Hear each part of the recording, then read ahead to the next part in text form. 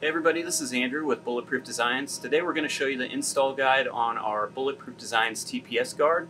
We've got a 2021 KTM 300XC. This is the all-new TPI XC bike. The tools needed for the job are pretty straightforward.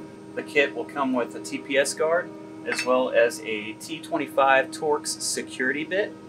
Uh, the only other tool needed for the install is a T20 Torx bit non-security uh, just a regular Torx bit.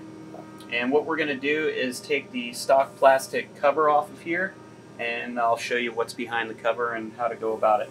This uh, throttle position sensor is pretty pricey. It's well over $300 and we're trying to protect the actual sensor behind this plastic cover. The cover is pretty brittle and thin and we're going to show you how to install our billet guard to help protect that expensive and pricey guard. Okay, so the first step is we're going to remove the uh, T20 bolt on the right side of the cover. Just take your T20 bit.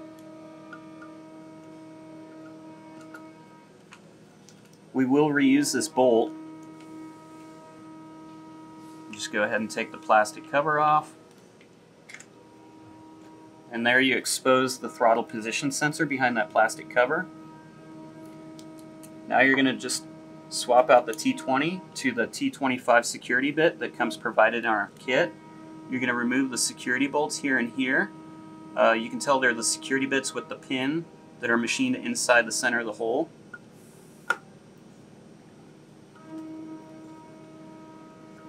And don't worry if this sensor falls off, it's not going to do anything crazy to the bike.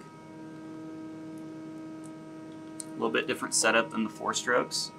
Then you're going to take our Bulletproof Designs TPS guard, simply slide it over the TPS. You're going to take your security bolts and run them back through.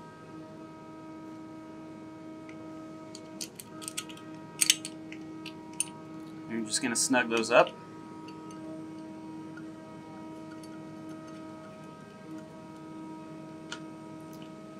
You can always add a little bit of blue uh, thread locker or Loctite to these two security bolts. They come from the factory with a little bit of uh, thread locker. Then you're going to swap back to the T20 bit and finish up with this last hole. Uh, the one thing to note is this last bolt, a lot of people try to uh, over torque it or bottom the thing out and it's really just a locating bolt. It's not really a, a securing bolt by any means, but there you have it. Um, Bulletproof Designs TPS guards installed. It's protecting that uh, really expensive throttle position sensor behind there. Add a little bit of bling to the bike. Available from your local dealer or bulletproofdesigns.com.